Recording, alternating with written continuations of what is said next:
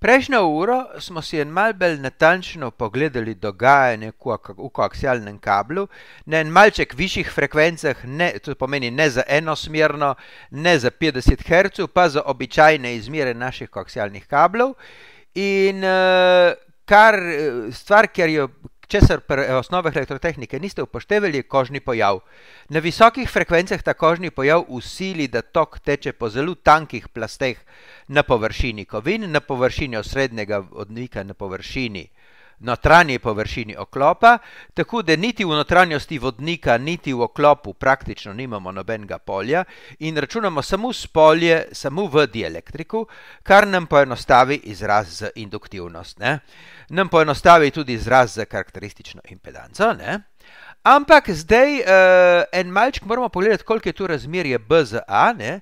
in vidimo, da P z A ni Tukaj sem še pozabil en presledek, tako da bo tisti znak, ki ga jaz želim imeti, ekvivalentno cena kabla. E, razmerje ni poljubno, če je B cena kabla, zunanji premjer kabla v glavnem določa ceno kabla, ne? potem tu razmerje B z, A ni, e, B z A iščemo optimum in optimum dobimo per približno 3,6. No in z tega tudi sledijo naše izmere za naše običajne kable, ne? Lahko tukaj zapišem, ne, uh, uh, da za običajne kable, ki imajo teflonski ali pa polietilenski dielektrik, je ZK optimalni blizu 50 ohmov, teflon ima en malček manj, bi bilo 52 ohmov tista številka, polietilen en malček več, tudi manj kot 50 ohmov, tako da uh, inštrumenti so standardizirani na 50 ohmov naši merilne naprave, ne, in tudi z tega sledijo še druge številke tukaj ven, ne. Recimo, koaksialen kabel, takšen, kot sem napisal tukaj gor, nima poljubne kapacitivnosti na enoto dolžine, pač pa je ta kapacitivnost na enoto dolžine v velikostnem razredu 100 pikofaradu na, uh, uh, na, na meter dolžine. Ne? Na meter dolžine. Tako? E, to številko dobimo ven, čist, če ustavimo podatke noter, se pravi, kapacitivnost kabla ni daleč od 100 pikofaradov na meter dolžine, ne? in tudi induktivnost kabla ni zdaj poljubna stvar, induktivnost kabla je približno uh, nič celih dva uh, mikro uh, Henrija, no, to procente bi mogel da znati, mikro,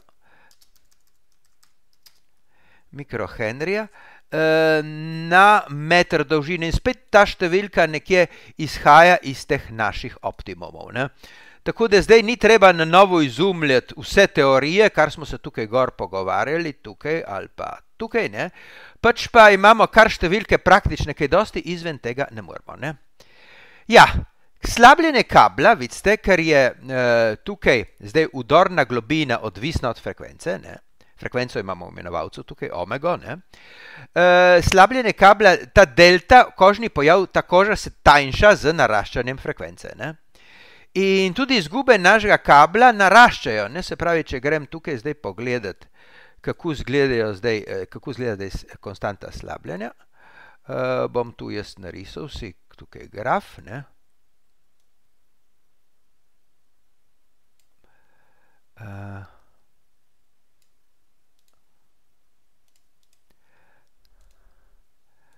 bom narisal grab, kakor funkcija frekvence. Ne?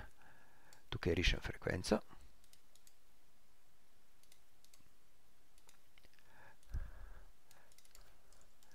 Na mojem grafu. Ne?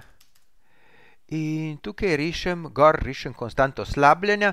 Konstanto slabljenja eh, bi lahko risal tudi v uh, Lahko bi jo preračunal še v decibele, se tu smo si pogledali, kako se jo preračunal v decibele. Jaz tukaj rišem kar, kar mi je lažje, rišem kar to teoretsko v neprih na meter dolžine, to konstanco slabljenja. Kako gleda ta stvar s frekvenco?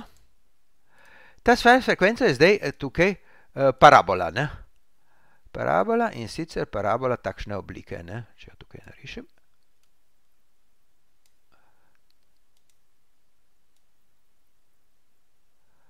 Parabola takšne oblike, se pravi slabljenje s frekvenco, zdaj uh, tale naš alfa, ne? tukaj noter bo zdaj alfa, bo uh,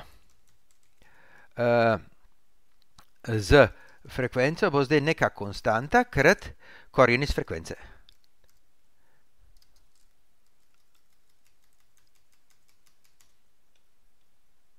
Tako, ne? Takšno krivuljo bomo imeli za koaksialen kabel. Ne? Koaksialen kabel, ker koža se tanjša obratno sorazmerno frekvenci, upornost narašča sorazmerno korenu iz frekvence, ker imamo delta tukaj noter, ne? in zaradi tega tudi alfa narašča sorazmerno korenu iz frekvence. Zdaj, kako lahko izgube slabljenja koaksialnega kabla zmanjšamo? Zmanjšamo ga lahko na ta način, da jaz dajem čim večji B. Če povečujem B, se jasno izgube zmanjšujejo. Če povečujem B, bom povečeval tudi A, upornost se zničuje in upornost žile in upor, uh, oklopa tukaj in upornost žile se zmanjšujeta z naraščanjem B-ja in če B raste, bojo šle izgube dol. Ne? Se pravi, jaz bi lahko rekel tudi tukaj, ne, da je tale naš alfa, ne, alfa lahko rečem, da je tudi sorazmeren neka konstanta c eh, črtica eh, eh, b na minus ena. Ne? Čim debelejši kabel imamo, tem manj izgub ima. Ne? Samo tukaj je treba biti pazi, je treba paziti, ne treba paziti. Jaz bom tu na lež rdeče narisal, ker ni vse tako preprosto. Kaj se lahko zgodi z koaksialnim kablom? Naš koaksialen kabel je cev. In z cevi uh, ne obstaja samo rod TEM, ne? tukaj bi lahko rekel, da tu je karakteristična impedanca za TEM rod. Ne? Ne? Uh, ne obstajajo samo rodovi TEM, za vse cevi obstajajo tudi drugi rodovi. Uh, Eh, samo zunanja cev od kabla, tudi če ni pravokotnega prereza, če je okroglega prereza, se lahko isto zgodi, kot v tem pravokotnem kovinskem valovodu tukaj. Imam na mestu oklepajo tako pravokotni.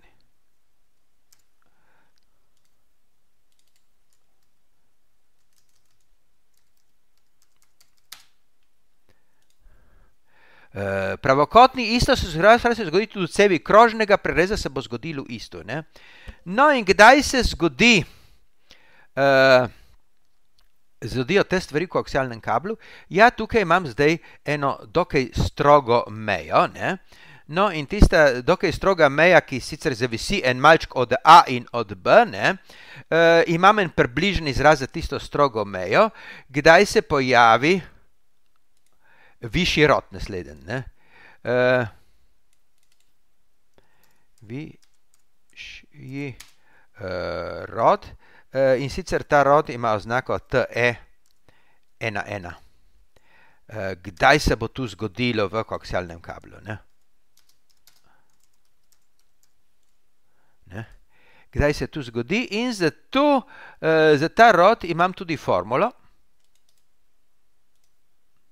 formulo, ne, e, ta, bi rekel, f maksimalna, kdaj se tu zgodi, ne, je zdaj približno, ker eh, formula, celotna formula je še dosti bolj komplicirana. Ne.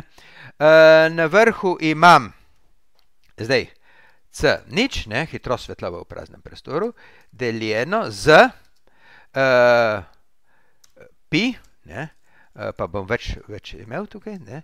Dobro, potem imam uh, A in B spodaj, ne?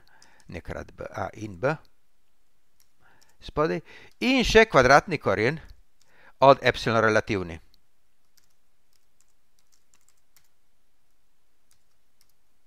Uh, tako pa konco klepaja tukaj. Ne?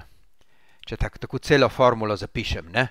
kdaj se tu zgodi. No, in ta stvar je čisto neka stroga meja tukaj, ki jo moram narisati.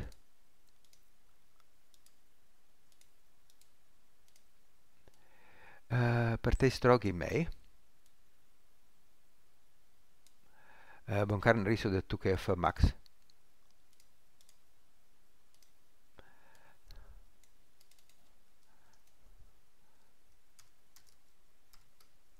kar stroga meja se zgodi. In tukaj, kaj se zgodi s slabljenjem, tale, tole naše slabljenje, kadar se pojavi nov dodaten rod, se pravi tale rod TE11, gre slabljenje proti neskončnosti. Sicer potem pade nazaj, takoj na to frekvenco pade nazaj, ampak tu bo zdaj luknja v frekvenčnem odzivu. Ne? Luknja v frekvenčnem odzivu, kadar se pojavi višji rod tukaj. Ne? E, se pojavi in koliko je ta luknja zdaj za praktične koaksialne kable, no lahko povem, kakšne so številke, kaj imamo na razpolago. Ne? Imamo uh, konektor SMA, ta je zelo pogost na vseh merilnih inštrumentih. Ne? In ta nam določa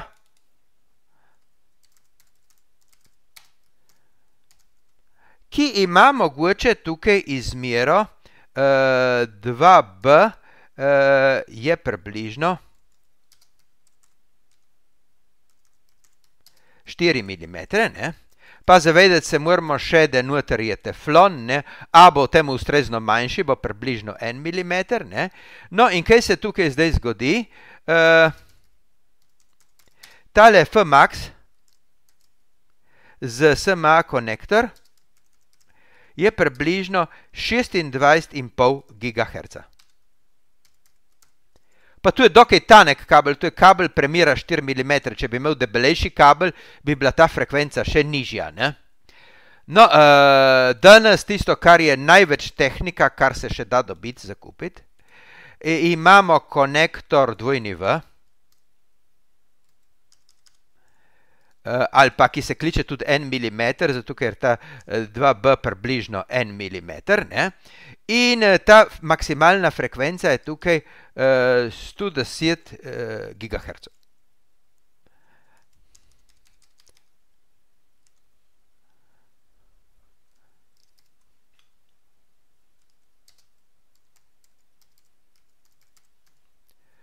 S tem, da tu, kar vam zdaj pravim, tukaj je eksotika. Konektor SMA je nekaj običajnega. Tu imamo eh, na vsakem laboratorijskem merilnem inštrumentu.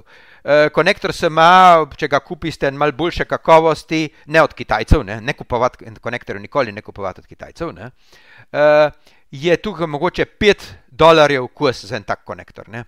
Konektor dvojni V, tu je za vrhunske merilne inštrumente stane en kos, ne par, en kos stane 1200 dolarjev. Da, eh, in eh, ne smete ga grdo pogledati, ker se bo polomil, ker je tudi mehansko tako majhna stvar. Tako da imamo neke omejitve, hude omejitve za naš koaksialen kabel, hude omejitve, kaj lahko naredimo z različnimi vtičnicami, z različnimi kabli. Tukaj sem napravil nekaj izgledov, 4 mm premjera kabla, 1 mm premjera kabla, da vemo, kje smo. Ne? Toliko o naši merilni tehniki, se pravi, pogovarjamo se 50 ohmov, pogovarjamo se konektor SMA in kaj več, kot kar tu si mi žal privoščiti ne moremo. Ne? Kaj več, kot kar tu nad 26,5 GHz postane tehnika izredno draga, lahko sicer gremo na pravokotne kovinske valovode, s temi pridemo mogoče do 100 GHz, z zelo majhnimi cevkami tukaj. Ne? Ampak tudi tam se nekje radijska tehnika konča, se elektronika nekje konča pri uh, 1000 GHz, 1 THz, sem rekel. 100 GHz pridemo še s koaksialnim konektorjem, uh, 1000 GHz ali pa 1 THz pridemo z koaksialnim kablom. Ne? Toliko o koaksialnih kablih, da vemo en malček, kje v kakšnih v kakšnem okviru se premikamo z njimi. Niso tukaj številke poljubne, številke so tukaj zelo, zelo, zelo, zelo za nohte nam grejo. Ne? Mogoče še to krivuljo narišem drugačne barve, da bo uh, bolj videti. Uh, tako da narišem krivuljo, ne? da imamo krivuljo in malček boljše vidno. Isto bi lahko tudi tukaj narisal to krivuljo tudi. Uh, en mal popraviti, da bo boljše vidno. Modro, pa recimo en mal debelejšo. Tako, ne? Eh, da je lažje razločiti na slike. No, zdaj pa se postavi naslednje vprašanje. Mi smo videli zadnjič na predavanjih, da je meritu odbojnosti nekaj silno zaželjenega. Odbojnost lahko merimo z mostičkom, lahko merimo z smirnim sklopnikom, lahko merimo še na tisoč različnih načinov. Ne? Ampak zdaj naslednje vprašanje, ki ga imam jaz, kaj pa če imam eno vezje, ki ima več kot en priključek? Ne? če imam vezje, recimo,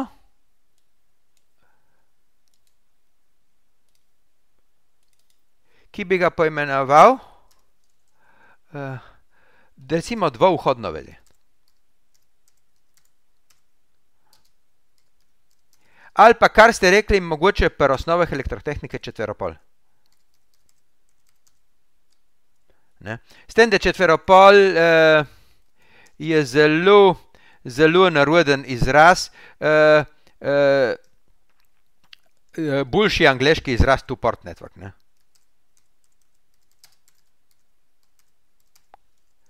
Na kakšen način takšno dvouhodno vezje lahko opišemo?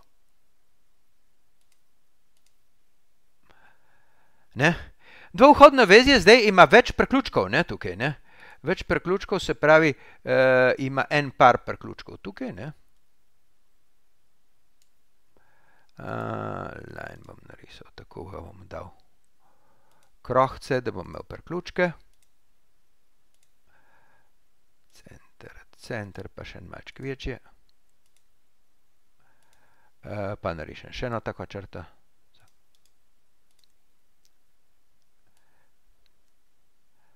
Ne?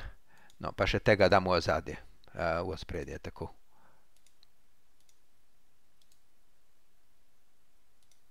Tako, ne, da imamo tu dvohodno vezje narisano. Ne. Zdaj imamo dva priključka. Imamo priključek ena na eni strani, priključek dva na drugi strani. Recimo tukaj damo priključek ena, pa tukaj priključek dva. Ne.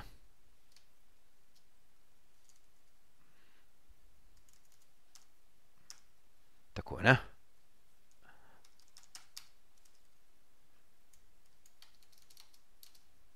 Ne? Kako takšno vezje obravnavati? Ne?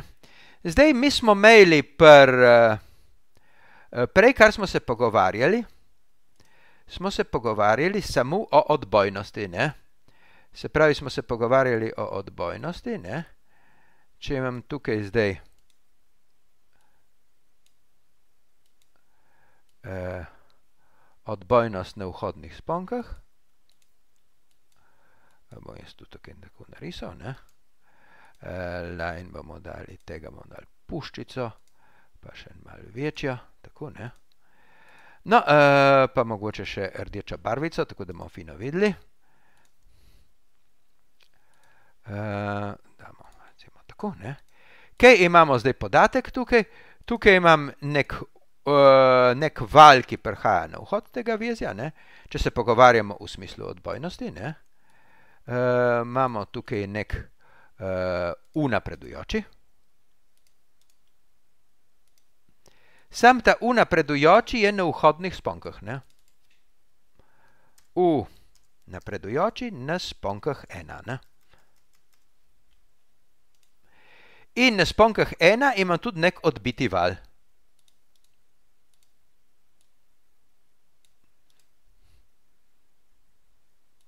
Tako, ne, imam nek U odbiti ena. U odbiti ena. In uh, en sam gradnik je bilo tu čisto v redu obravnava, recimo za eno breme smo imeli odbojnost napisano. Ne? Ampak zdaj imam dvouhodno vezje, se pravi ta napredujoči val tukaj lahko uh, povzroči na izhodu en U napredujoči na izhodu tukaj. Ne?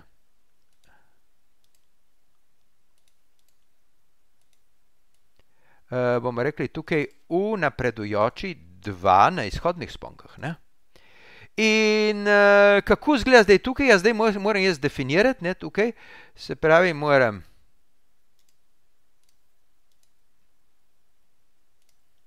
Ne, tega, tega sem viško, tega, tega sem hotel skopirati.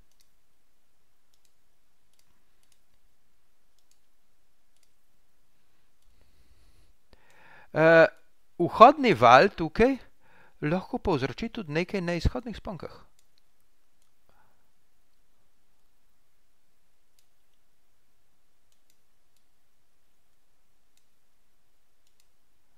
Se pravi, ta vhodni val lahko nekaj povzroči na izhodnih sponkah tega vezja. Ne, zdaj moram definirati tukaj novo veličino, o kateri se bom pogovarjal. Ne? Se pravi, tu pride skozi moje vezje, ta val pride tukaj skozi. Ne? Tako. pa tako, če si ga narišem. Ne? Uh, no, in zdaj bom narisal tukaj tudi puščico, kam gre ta učinek, se pravi line, tukaj moram dati puščico, ne?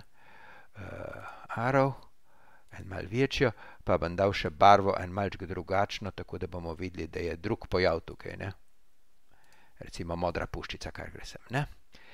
No, in zdaj vidite, da tukaj en, en sam podatek za odbojnost ne bo zadosti, ne?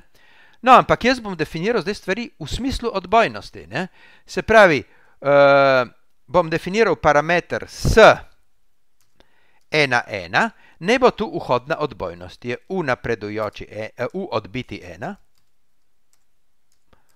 ena, deljeno z u napredujoči ena. Ne, in tu je bila v našem prejšnjem primeru, je bila tu odbojnost, ne. Tu imamo zdaj tukaj, ne, ta podatek, ne. Uh, kaj pa tukaj gor?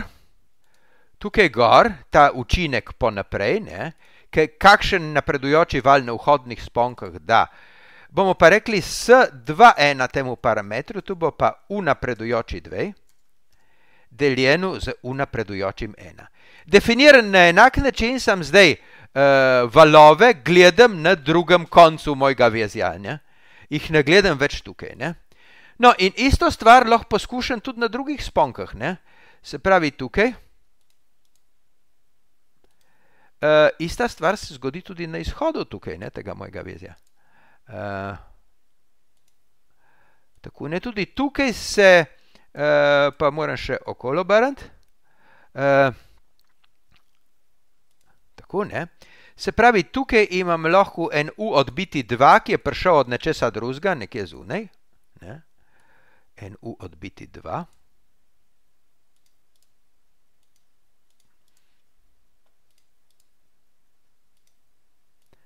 tukaj, ne? In ta se tudi odbija od našega vezja. Se pravi, imel tudi na izhodu en tak parameter. Bom imel tukaj parameter uh, s 2,2, uh, ne?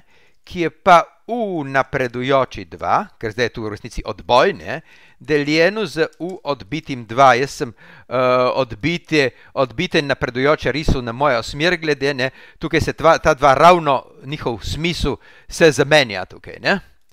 No in uh, uh, še en parameter imam, kakšen je vpliv izhoda na vhod nazaj, ne?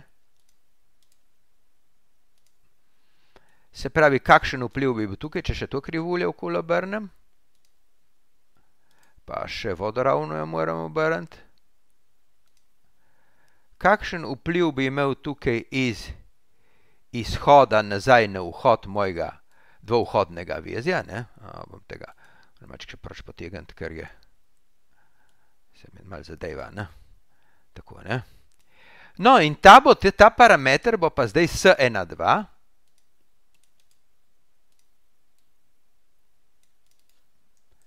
S ena, dva, ne, bo pej, pej u odbiti ena, kakšnega dobim iz u odbitega dva.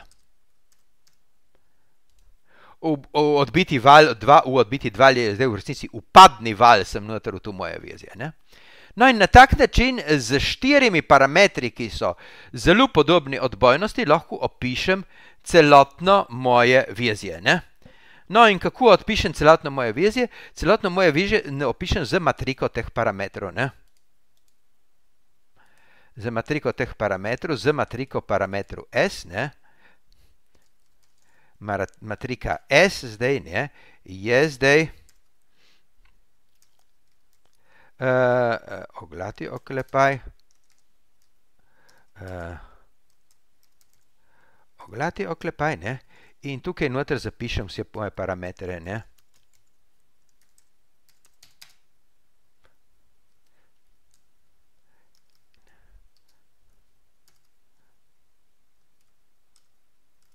S, rečemo tako S2, 1.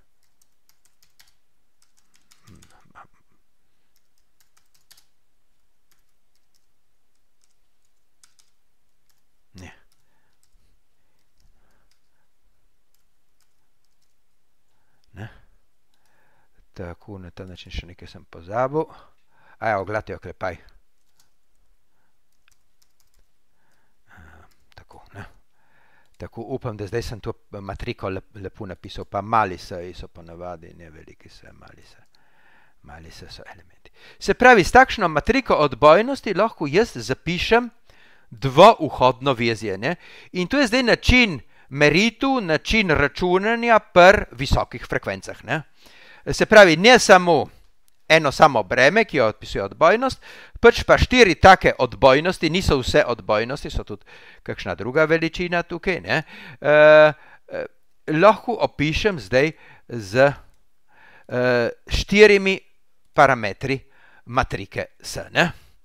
No, e, kako zdaj, kakšne so, kakšne so kakšni so te, te matrike S, kakšni so te parametri S11, S12, S21 in S22. No, no nekaj moram takoj zapisati. Ne? Če je S21 enak S12, tu pomeni, uh, S12, tu pomeni, da imam recipročno vezje. Če je učinek naprej enak učinku nazaj, imam recipročno vezje. Ne? No, in uh, recipročno vezje, še če imam S1, 1 enak SD2, je vezje čisto simetrično. Se pravi, S1, 2 uh, in še. Uh, dobro, tu da še napišem presledek. Uh, S ena ena je enak s 2, 2, je tako vezje čist simetrično vezje.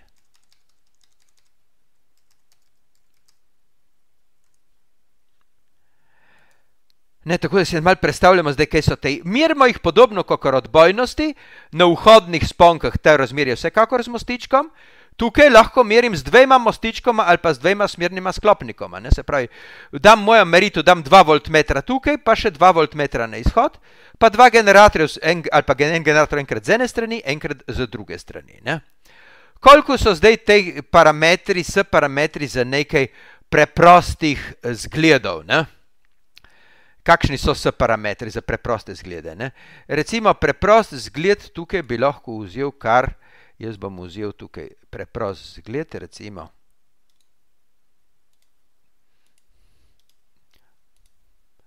Preprost zgled vod, ki ima neke podatke tukaj. Ne? Uh, vod, ki ima neke podatke, recimo si vzamem z prve slikce tukaj, kar vod si prekviram podatke, ki ima podatke, uh, ki kakor jih imam tukaj, ne? Se pravi, kakšna bo S matrika zdaj za takšen vod? Ne? Jasno, tale četveropol je zdaj simetričen. Ne? Simetričen četveropol, če ima uh, moj vod uh, eh, ZK, tukaj točno ZK, ne? tu pomeni, da bo sta S11 in S22 enaka nič. Ne? Ker na takšnem vodu nimam odbojev. S11 je enako S22 je enako nič. Zato, ker ni odbojev.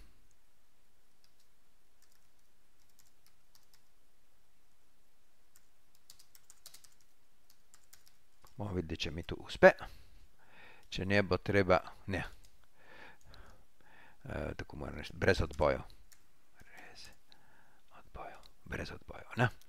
na takšno vodo nimam odbojev. Koliko sta pa S2,1 in S1,2, četvrpol je simetričen, je recipročen, ne?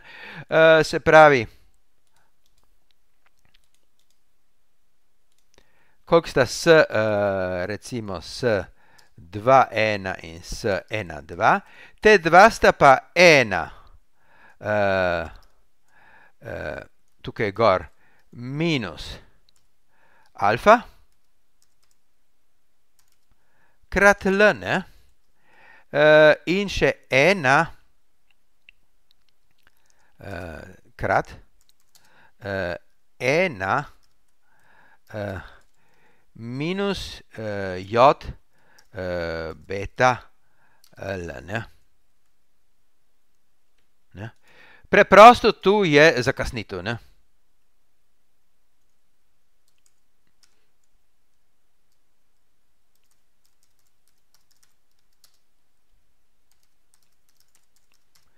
Tako da vidimo, kaj znamo računati tukaj z našimi S parametri. Ne. No, eh, še eno možnost imamo, eh, recimo, kaj se zgodi, če jaz ugradim kakšen gradnik, spravi spet, če jaz uh, uh, ugradim en gradnik, recimo četveropol, takšen četveropol, ki ima zdaj uh, eno impedanco.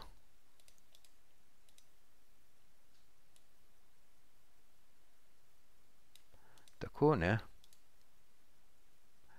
Uh, bliže narišem. Pa ugradim recimo vzdolžno vejo impedanco. Ugradim tukaj noter impedanco.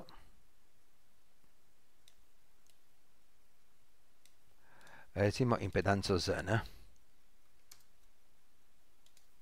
Ugradim tukaj. Kakšne bojo zdaj s parametri takšnega četveropola, jaz spet lahko pogledam, koliko so S11 in S22.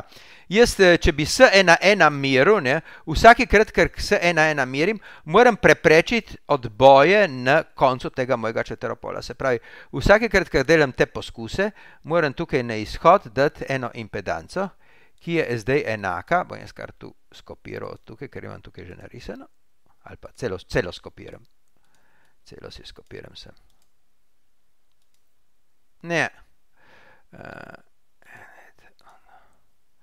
uh, copy.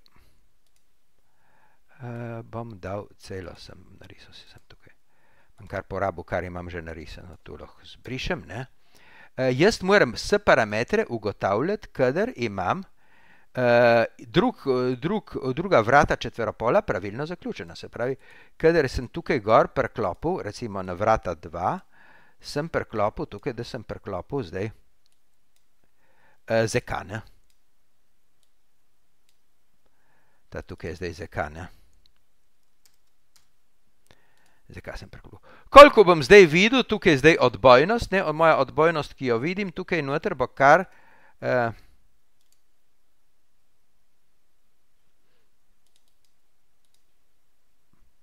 uh, sem hotel kopirati, pa sem rezal. Se pravi, odbojnost, ki jo zdaj vidim tukaj noter, ne, bo kar ta legama, ne, bo kar enak s 1,1 ali pa s 2,2, kar je simetričen. Ne. Se pravi, naš gama.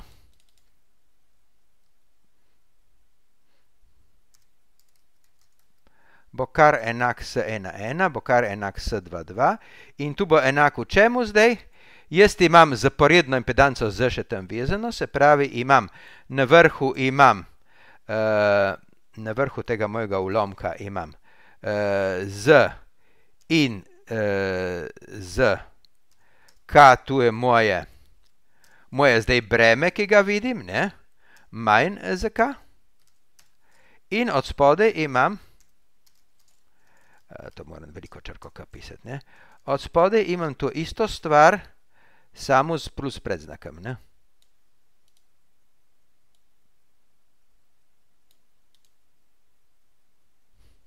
Ctrl C. Moram da tukaj Ctrl V. A, ni primo, ni primo Ctrl C. Ctrl C. Ctrl V. Pa spodaj plus, ne? Plus, ne?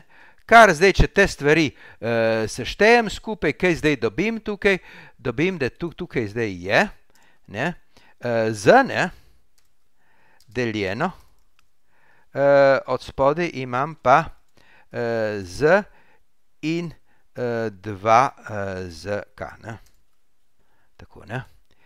No in sem že ugnal S parametre za tak četveropol na vhodu, ne, uh, kaj pa še, S podobnim izrazom, če bi šel izračunati S21 in S22 za takšen cefteropol, ne? jih imam že tukaj napisane, ne? Uh, bi šel tudi pogledati, koliko vala mi prije na koncu, ampak bi mogel zdaj rešiti jaz tukaj vizje. Rešiti vizje. In če bi rešil vizje, bi dobil pa na vrhu, ne? bi dobil 2 zk deljeno z istim imenovalcem deljeno z istim imenovalcem, ki je uh, uh, z uh, in 2 z k. Ne? tako bi dobil. Uh, tako pa še tista dvojka na vrhu, moram še. Dvojka je lepše, če jo na vrh napišem, tako da uh, uh, lepše, če dam tukaj zdaj zaviti oklepaj. In na tak način bi se dalo pogruntati vse povezave z različne možne vezave tukaj. Ne? Še tega tu grdoba mi je podčrtal. Uh, grdoba mi je podčrtal, moram reči, da ta znak pa ni, ni v angleščini to tukaj. Ne? Grdoba. Tako. Znamo za različne gradnike računati, no in najbolj komplicirana naloga bi bilo jasno zračunati to tukaj. Najbolj komplicirana naloga bi bila zračunati per uh, četveropolu, če imam cel tak četveropol, se pravi celo dvouhodno vide, si ga prekopiram. Si ga prekopiram sem na to slikco, ne? In zdaj ta četveropol jaz zaključim na eno impedanco, ne? Se pravi, si to impedanco skopiram.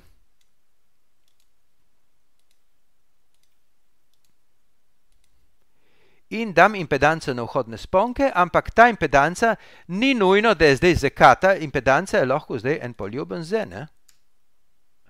E, ki ima en poljuben gama tukaj, ne? Se pravi, ta je en poljuben zdaj gama bremena.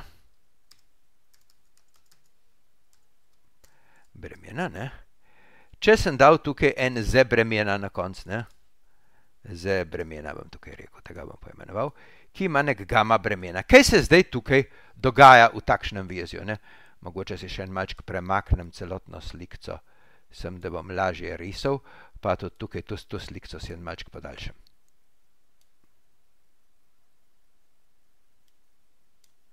Tako da bom lažje, lažje razmišljal. Ne? Zdaj, moje vprašanje pri nalogi je, kakšen je celoten gama na vhodu. Ne? Se pravi, tukaj gama, kako ta vhodni,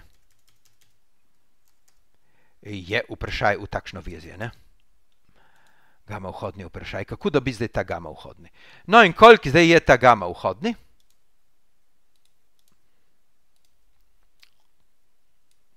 Gama vhodni zagotovo vsebuje s ena ena. Ne? Kar se odbije od tega, od tega našega dvouhodnega vezja tukaj. Ne?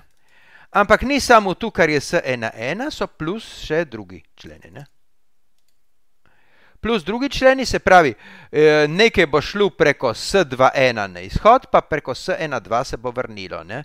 Se pravi, drugi členi bojo zagotovo še imeli tisto, kar gre na izhod, bo zagotovo še tukaj uh, S2.1. 2, 1, uh, s 1, 2. In 2. Tu, če bi se na izhodu vse odbilo, ne? 1, 2. Bi dobili to tukaj, ne? Bi dobili to tukaj. Ampak jaz na izhodu se mi odbije kaj? Se mi odbije gama bremena, ne? Se mi odbije gama bremena.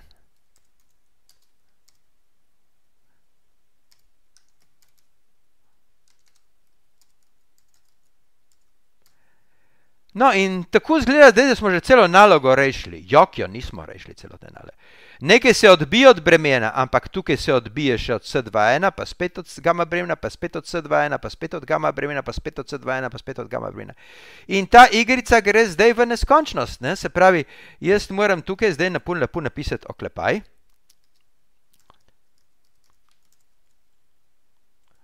Uh, left. uh,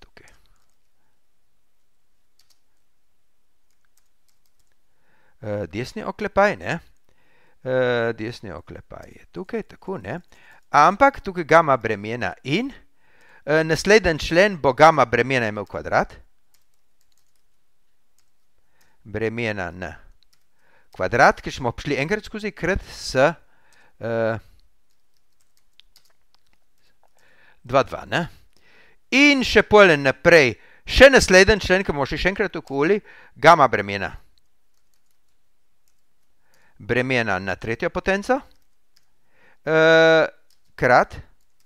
Uh, uh, tukaj imam zdaj uh, s 2, 2 uh, na kvadrat. Ne?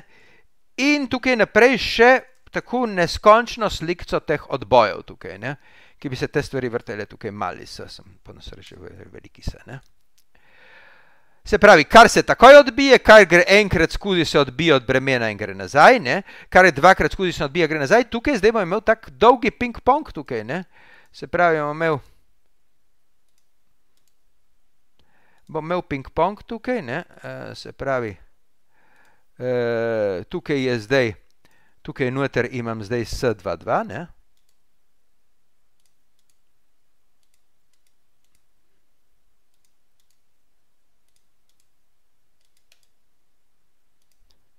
Se pravi, tukaj je S22, eden, ki se odbije, ne, S22, ne. In ta drugi je jasno naš gama bremena, ne.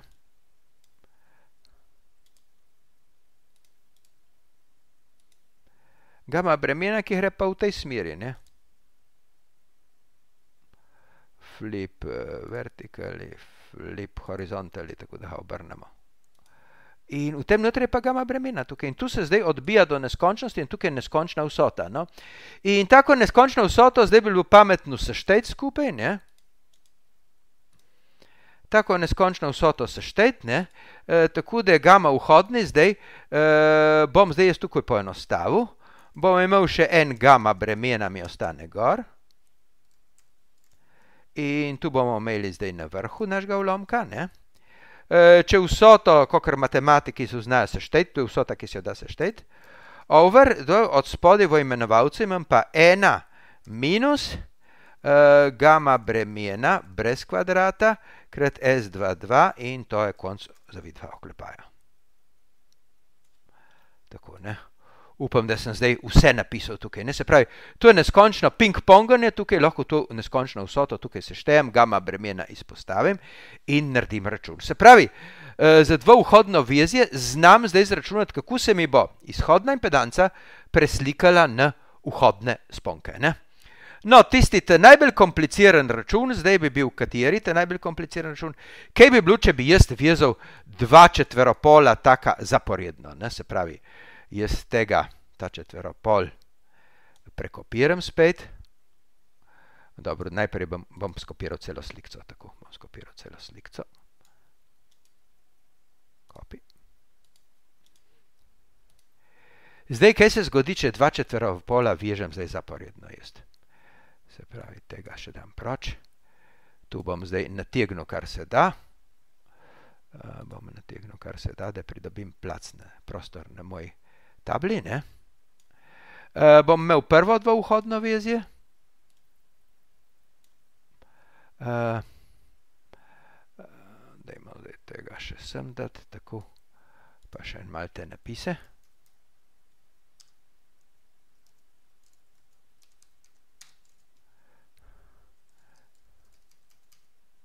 Dvouhodno vezje, pa dajmo tega označiti s črtico, ne? In še eno dvouhodno veze zaporedno, vezano, temu tukaj. Še eno zaporedno vezano dvouhodno vezje tukaj, ne. Dvouhodne vezje z dvemi črticami, ne.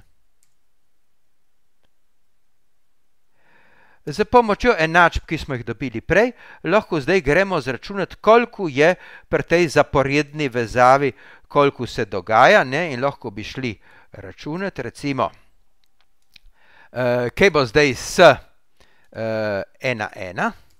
Ja, ponudimo kar ta rezultat tukaj, s ena, ena bo zdaj iz tega ga dobimo ven. Ne? S ena, ena za takšno klobaserijo, ne? Uh, se pravi, ne bo več gama vhodni, pač pa s ena, ena celotne vezave, ne? celotne vezave, s ena, ena za celotno vezavo, če bi dali recimo tako. Ne? Uh, S ena ena za celotno vezavo je mogel recimo tukaj zdaj tako označiti celotno moje zaporedno vezavo dveh četveropolov.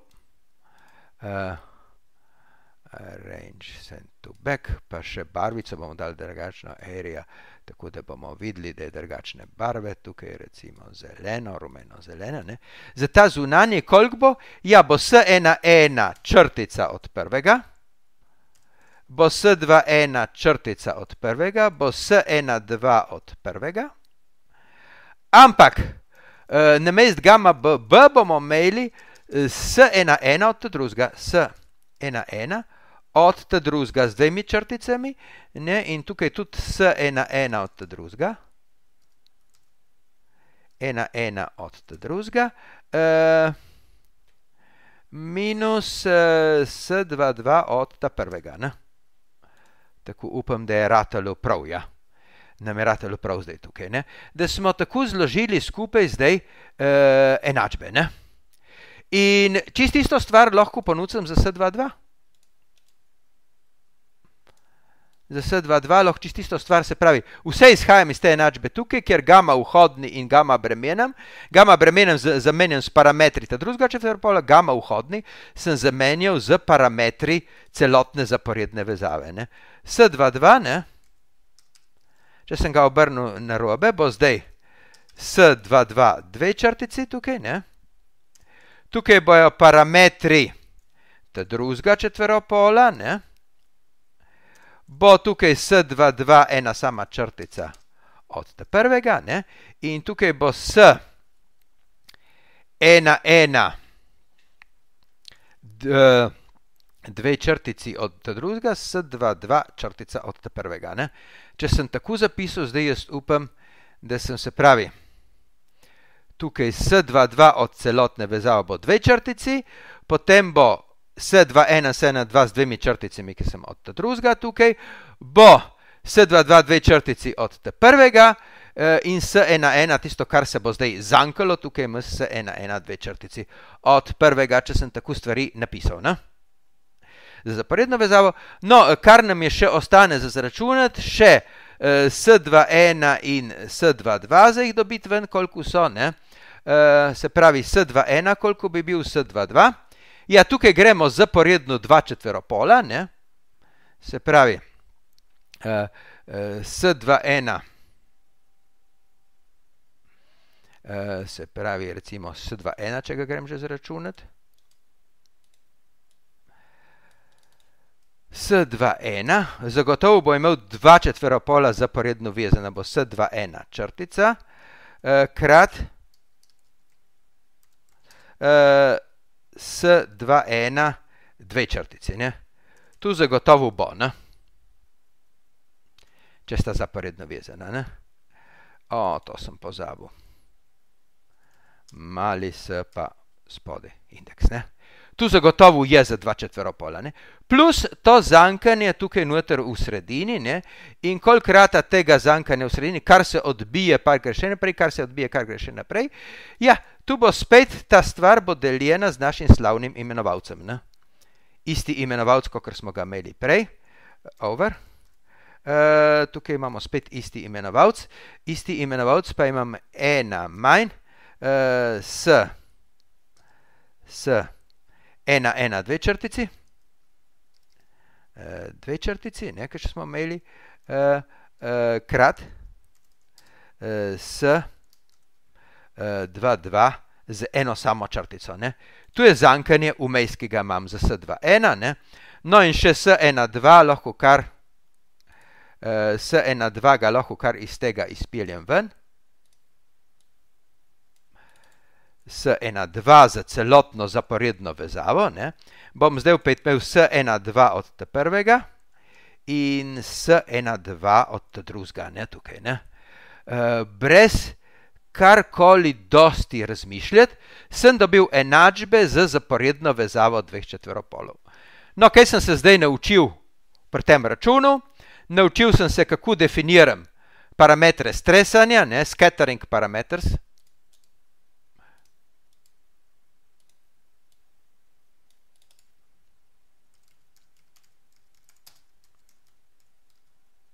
Kar so naši razširjeni neširjene odbojnosti.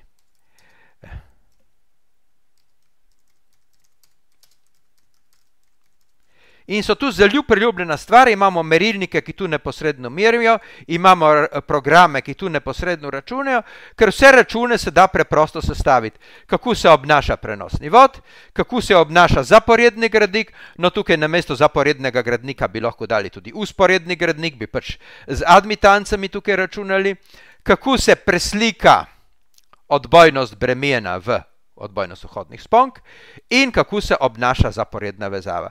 Se pravi, vse znamo z temi našimi parametri računati in tu je tista stvar, kar naši merilniki počnejo. Več od tega bom, bi morali videti na laboratorijskih vajah, ki so žal letos zelo okrnjene. Več od tega bomo videli tudi še na predavanjih, ker si bomo pogledali kakšen programček, kako s temi stvarmi računati uh, naprej. Ne? Uh, no, to sem še eno črtice preveč narisal. Je prvi pa drugi, ne se pravi, tukaj mora biti prvi pa drugi, pa tudi tukaj mora biti prvi pa drugi s ena, dva, prvi pa drugi, eden z eno črtico, eden z dvema črticama. Tu sem se še zmotil, zdaj zadnji, zadnji hip sem videl, da moram popraviti te stvari. Ne? Tako da upam, da zdaj imamo vse na tabli, kar je potrebno za računanje naprej. Naslednjo uro si moramo pogledati, kaj se zdaj v takšnih kompliciranih eh, primerih eh, zgodi. Ne? Kadar mi vežemo v našo verigo reaktivne elemente, ker vežemo kakršne koli električne gradnike, kadar vežemo ojačevalnike vmes. Ne? Kakšne gradnike pravzaprav imamo in kaj se s temi zgradniki zgodi, ker nabašamo na problem stabilnosti. No, če pa vezje postane nestabilno, tisto pa so hude težave z načrtovalca tazga vezja. Tako da tu moramo zelo paziti.